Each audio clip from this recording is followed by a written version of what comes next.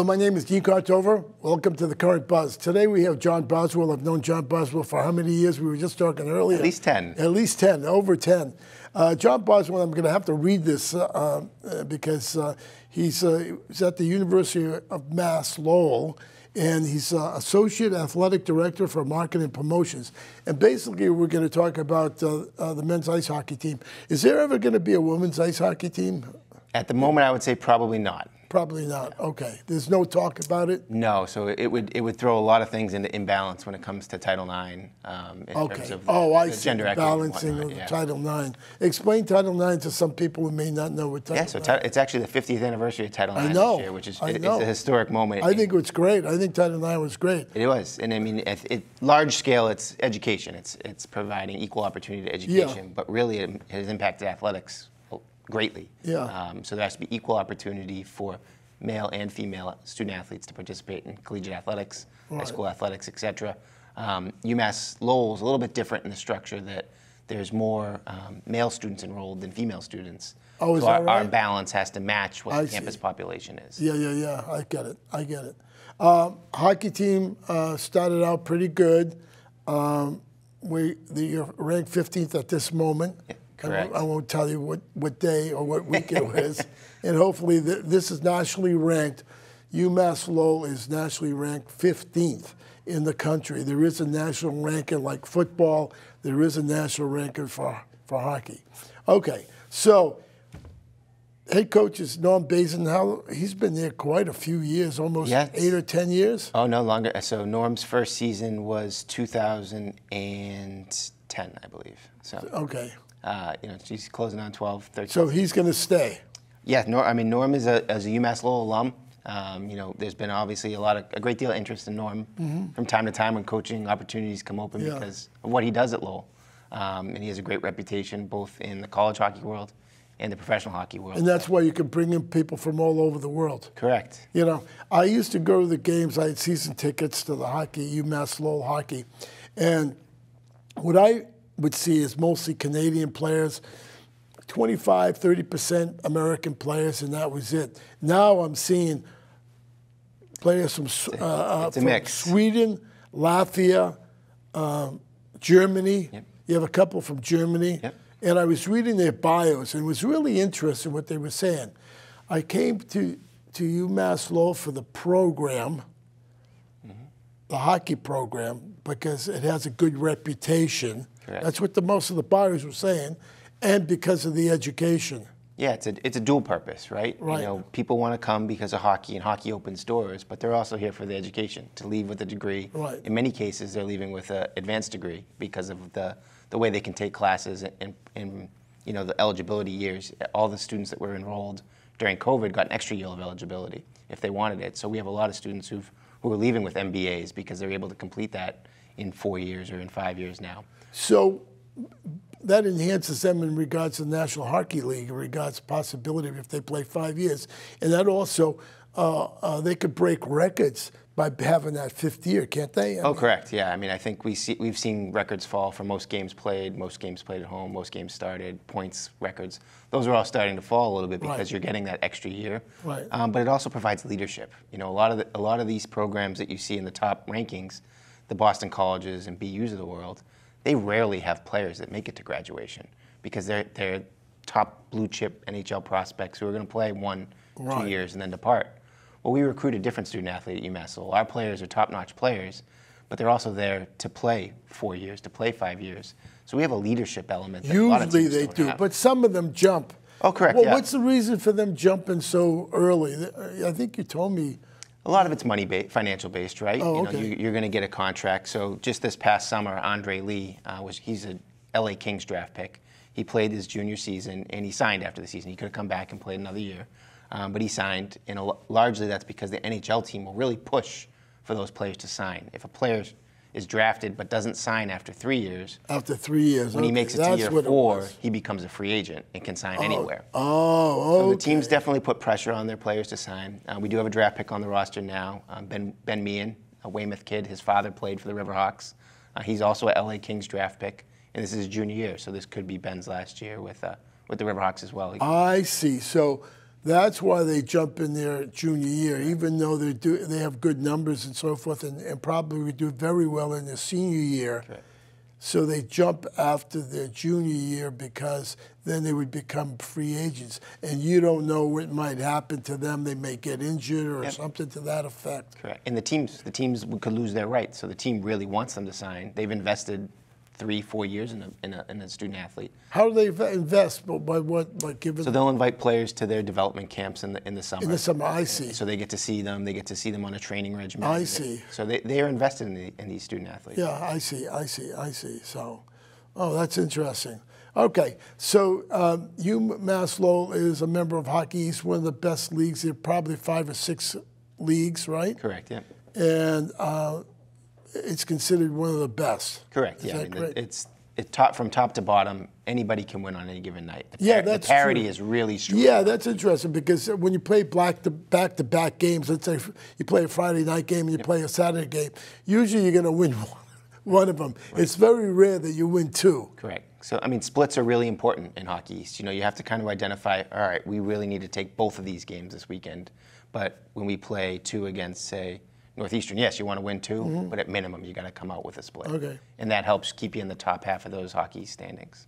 Yeah, um, we, we have a goalie from Alaska, uh, uh, Anchorage, right?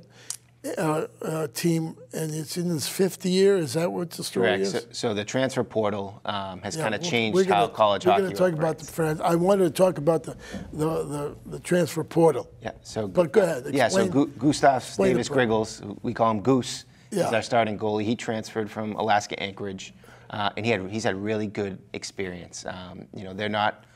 They didn't have the success that maybe the Riverhawks have had, so he's faced a lot of shots. Um, you know, he's been in a lot of odd man situations, playing the penalty kill, um, and good you know, the, the coach has a Coach Bazin loves to see strong goaltending. You know, that's really the Yeah, foundation of our team. exactly. You know, from Connor Hellebuyck to Tyler Wall, Mm-hmm. Owen Savory last season. Um, so we have two really good goaltenders, or three really good goaltenders that, on the roster between Goose, uh, Henry Welsh, and Edvard Nordland. Um, so they'll all split time. They'll all see some, some action, and uh, you know, it's kind of great to have that competition to see who comes out on top. Mm-hmm. Um, but I think people are excited by Greg Grigals. He put up a shutout in his first game. Only the second goalie in uh, program history to do that in their first start with the Riverhawks. Oh, okay. So he was Hockey East goaltender of the week to start. But they were playing St. Lawrence. Louis, you know, Yeah. it's, there's parity in college hockey. Yeah. You know, um, Alaska Anchorage, where he came from, you know, they shut out, or they beat Western Michigan, uh, who was a who was a tournament team last year. So anyone can anything No, can no, happen. I mean, even Arizona State has a, has a team, or Arizona. They're, they're very good. Yeah, and they're good. I was really surprised last year you guys played them, and you won one and lost one, and it was kind of like Arizona State. They just started a program. Yeah, so you, they have a lot of resources, obviously, that they can put behind the program and, and the recruiting pitch when you're at Arizona State, and you know, you come to Lowell, and here's Lowell. cold. Here's what it's going to be like all winter. Yeah. Here's Arizona State. Yeah, here's what you're going to have. That's a Yeah. unique, uh, unique yeah, approach. yeah, yeah, yeah. No, I, I agree with you. You know, and you're not too far from California. No. You get to go to the ocean. Yeah, definitely. Okay, so the portal. Explain the portal. What's happening? It, I hear about it in football, and it's kind of like things have changed now, haven't they, because of the portal? Correct. So And explain the portal to the. Yeah, so college athletics has basically now become almost free agency. Um, you Okay. know.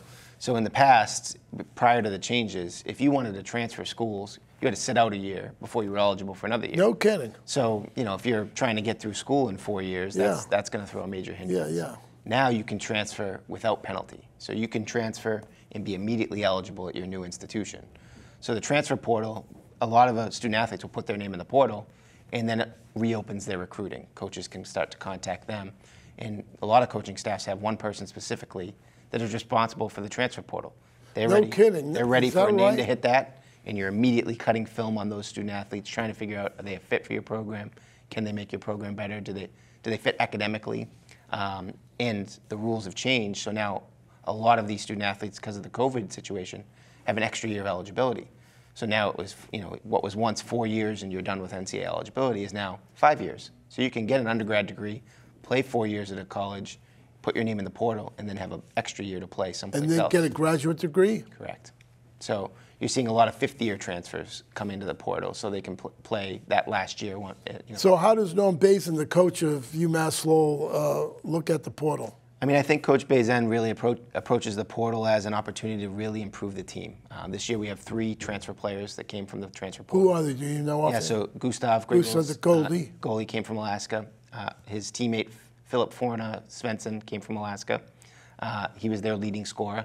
And Wow. Jake, and Jake Stella, a forward, came from uh, AIC, American International, which has been a tournament team as well, Mm-hmm. um, and was a strong player on that team.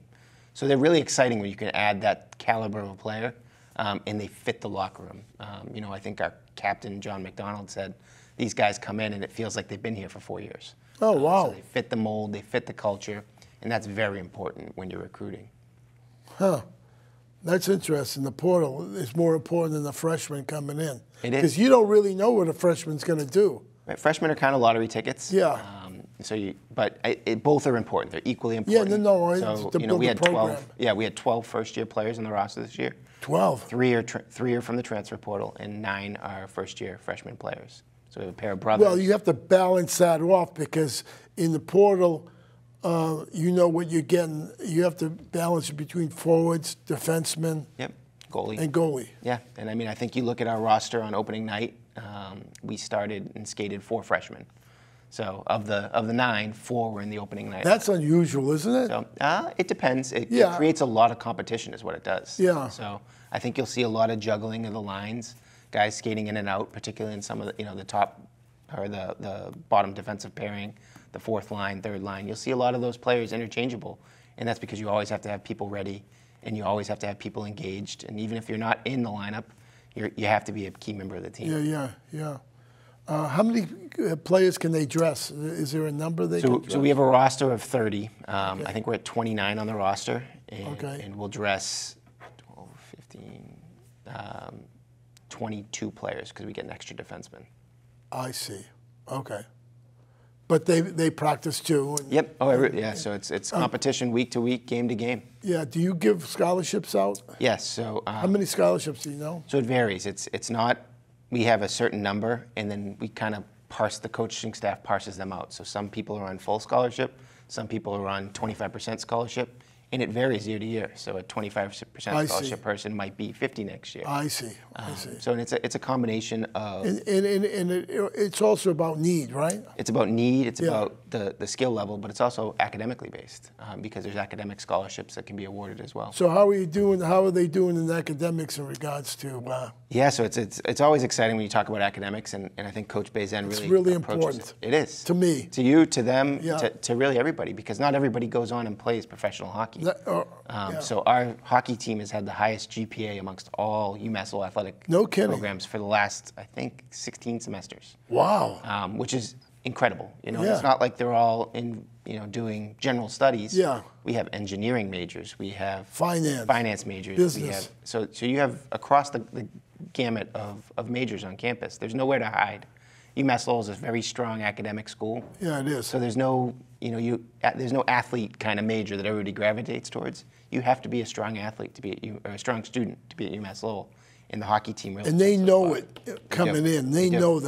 Know that. They're going to get a good degree. Correct, and it's not again not just an undergraduate degree, but in many cases an MBA or, or an advanced degree. Uh huh. Uh huh. Okay.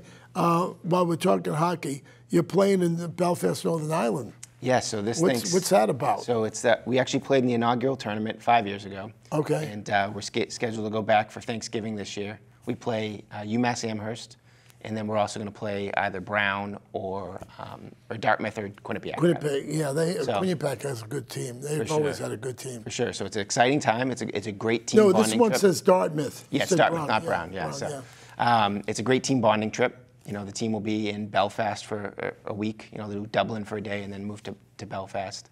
Uh, the team stays at the Europa, which is a historic hotel in Northern Ireland. You know, the most bombed hotel, which is a kind of Yeah. unique fact. So it's a it's a great trip. We have a lot of alumni going. We have a lot of uh, supporters going. So there'll be a lot of UMass Blue at the game. UMass Lowell The Blue. parking lot at, at Logan Airport will be packed with cars. So uh, Yeah, look uh, for- don't, look don't, for those Riverhawk stickers, weekend, right? Yeah. But it's a it's a great trip for the team. A real chance to build Yeah. build some momentum. We won the first tournament um, when we were over there. We're looking to go back and win it again. You're going. I'll be on that trip. Yes. Uh, that's during World Cup. It is So during World i- i- Europeans are into World Cup. I mean, you'll probably. Uh, I assume the taverns will be pretty full. Uh, Yeah.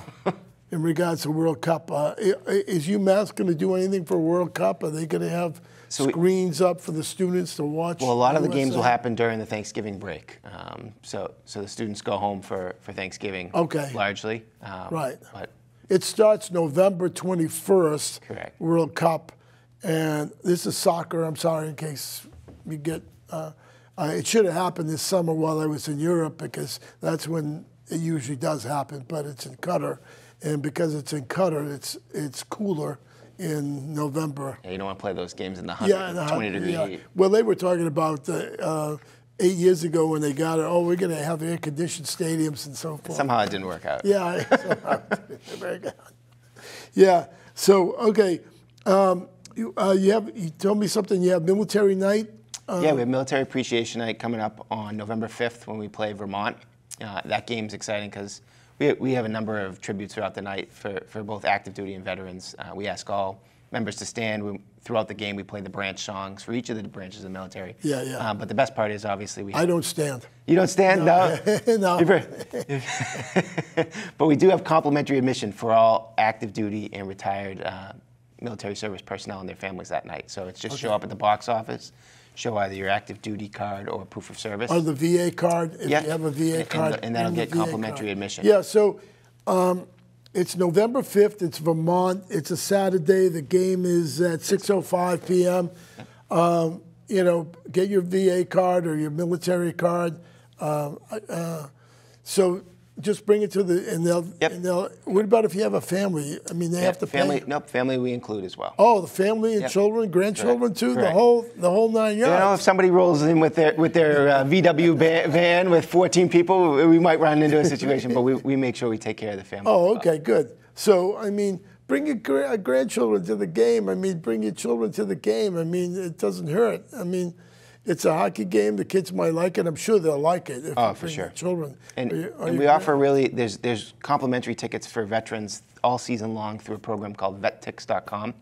Uh, they Is it just veterans? that one's just veterans, um, but they offer it through that website, and it's not just UMass Lowell. There's tickets to all sorts of events. It's a wonderful site. They do great things. Okay, if an adult, uh, let's say, explain where the location is, and if adult wants to go, tickets Yeah. So for, for tickets, uh, we're at the Tsongas Center. The box office is at the Tsongas Center. in Lowell, Mass. In Lowell, yep. You can go to goriverhawks.com or thesongacenter.com for tickets, Yeah. or just walk up on the day of the game. Uh, all options are, are available. Tickets start at 18, run to $25 at regular prices. You save down to $10 on group tickets, and season tickets save you nearly 50% off the box office break Right. price. So, So you're telling me basically, if I'm a veteran, I could walk in, show my card on November 5th, yes. on November 5th, but no other day. Uh, Correct. Uh, on the other days, you want to try to check out vet VetTix and make sure because we put an allotment in for each game, Okay, um, and there's a chance to grab those tickets each night. okay. I've- I've But season tickets, if you're a veteran and you have season tickets, uh, uh, let me look at this uh, paperwork that I, uh, if you're a veteran, uh, it's $195 for how many games? Uh, so 18 games. 18 games, which is not bad. No, no. When you do out the math, I think it comes out to, to nearly 61%, 62% off box. And they, Jon, they would call you in regards to, um, They can call me. I'll, I'll help them, or they can do it right on the website. but- well, I mean, but if they want to see where their seats are, Oh, some yeah, people like it over the glass, some people like it up front, Yep. that type of thing. So you'd show them around and, Yep. and let them Yep, we, see we, what, have, we have people come in all the time. We'll show them, okay, this is this seat's available or this seat's available. Most people like to be above the glass just from a viewing standpoint. yeah, yeah. I, I, that's where I. I that's Generally, where row, row 10 and up is where you Yeah. want to be. Okay. I mean, some people like because they have children. They Yep, want you wanna be down, bang right on the glass. on the glass. so you're playing um, Miami, Ohio, Anchorage, Alaska. They're playing here. Then, uh, you know, all the way to the end of February, you're playing, and then Hockey East quarterfinals. Hopefully, that will be Lowell. We hope, you know, so the top, Usually, they'll they top four teams host a home playoff game in the, uh, or get a bye and host on Okay. Saturday. The fifth seed gets a bye but doesn't host, and then seeds six, seven, and eight they host on Wednesday. So Well, you're expected to come in fifth, so maybe you. you know that's what the coaches project. We, yeah. we, we generally like to, to take those for what they're worth. Good point. Good point. And then the semifinals would be in Boston Sem- at the correct. Boston Correct. Garden in the Hockey East Championship. championship, and then hopefully uh, the Frozen Four. Yeah, so each of the last two seasons, the Riverhawks have lost to the eventual national champion. Uh, In our last game, we lost to Good point. UMass two years ago. Yep. Last year, we were out in the NCAA tournament. We got we were sent to the Denver regional. Yep. We played Denver in Denver, and uh, we, we came up just short. We lost by a goal. Uh, Denver came to Boston and was the eventual Frozen Four national champion. So Yeah. there's only 63 uh, college hockey teams. So there's a real chance for our program to be a national champion at the D1 level, and you know that's our goal to be Yeah. a Division One national champion, to bring that championship to Lowell. And you know we're, we're, we're hoping to flip the script and, and have somebody else. We'll, we'll eventually do it, become national champion, NCAA national champion. That's it's- what I'd like to hear. ten- 10 year anniversary of when we last went to the Frozen Four, uh, which was in Pittsburgh with uh, Connor Hellebuyck leading the way. Yeah, I, re- I remember that. I was there. I remember that whole uh, uh, scene. Um, I want to ask you something uh, that's happening Lowell in regards to the Lowell Spinners. Um, you were involved with, with the Lowell Spinners at one time in your career, right? Correct, yeah. So I spent 10 seasons with the Lowell Spinners Yeah, uh, uh, professionally. Yeah, 10 seasons.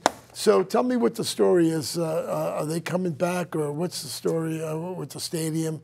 Yeah, so- LeLacheur Stadium, which is in Lowell, uh, right next door. It's tough. Parking is tough there, but go ahead. Yeah, so I mean, the when COVID happened, the spinner season was eliminated, and coming out of COVID, Major League Baseball eliminated short season baseball in the New York Penn League, which is where the spinners existed. Yeah. Um, New so- York Penn League was in uh, established in 1935. I was disappointed to see it go because it, it had a history. For sure. So um, the city, you know, our baseball team, the UMass Lowell Riverhawks, have played their seasons there since, but we've been the only tenant. Um, so the city made an agreement with the university to sell um, the LeLacheur Ballpark, or LeLacheur Stadium rather, to the UMass Building Association.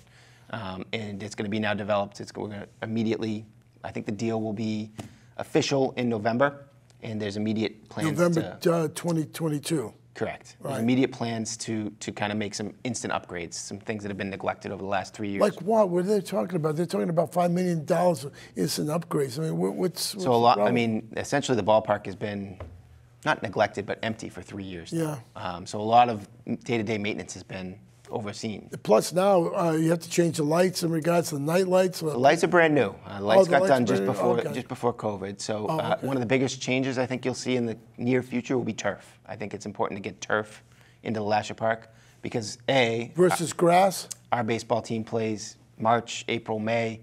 Not exactly known for the best weather Yeah, in New exactly. England. That's a good Tur- point. Turf's a game changer. You Yeah. can play on, It- on any weather circumstances. I mean, Uh, the, and bo- the ball can bounce anyway. That's it's come a long way. It really has come a long way. Yeah. Um, so it's, it's very close to what natural grass is now. And then it would also allow you to have a lot more access in terms of who's the other tenant in the ballpark. Is there a, another professional baseball team in there? Is there a collegiate summer league team? What, wh- who else? Well, they're talking about taking a team out of what the South or something. What was that? What are those? So, the, I mean, there's been a lot of rumors, and I haven't been a part of many of Yeah, those. yeah, but yeah. you know, originally the rumor was potentially the Salem Red Sox The Salem would migrate up. Were they in, in North Carolina? They are in Salem, Virginia. Salem, Virginia. Okay. Yeah, so that would be an A-ball team, um, but you know, I think there's a lot of a lot of hurdles. Well, that, if it was eight ball and it's not short seated, that means it would start in April.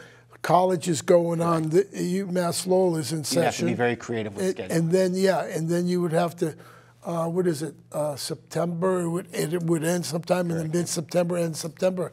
So that's kind of you know parking, etc. At the university. Parking and our, our baseball schedule. Yeah. You know, our baseball team practices. Our baseball team. Plays Yeah, yeah, yeah. Spring. So, a lot of challenges there, but it's exciting to see what the next step is for LeLacheur Park. Uh, it's been.